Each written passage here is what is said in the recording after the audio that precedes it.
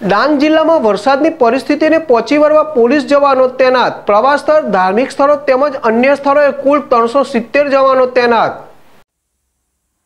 ડાંગ જિલ્લા પોલીસ કર્મીઓ દ્વારા જિલ્લામાં વાહન વ્યવહારનું યોગ્ય નિયમન થાય.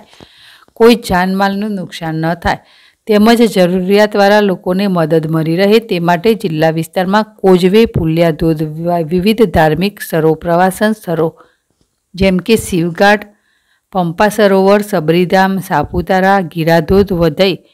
બોટનિકલ ગાર્ડન, ગીરમારા ધોધ ઉપર પોલીસ જવાનો ચોવીસ કલાક ફરજ બજાવી રહ્યા છે.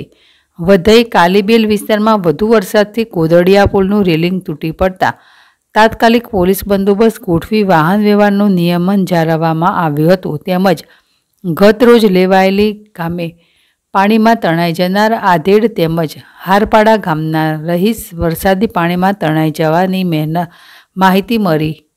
ગ્રામજનોને સાથે રાખી પોલીસ દ્વારા શોધખોળ કરી મૃતકને મેળવી કાર્યવાહી કરવામાં આવી હતી.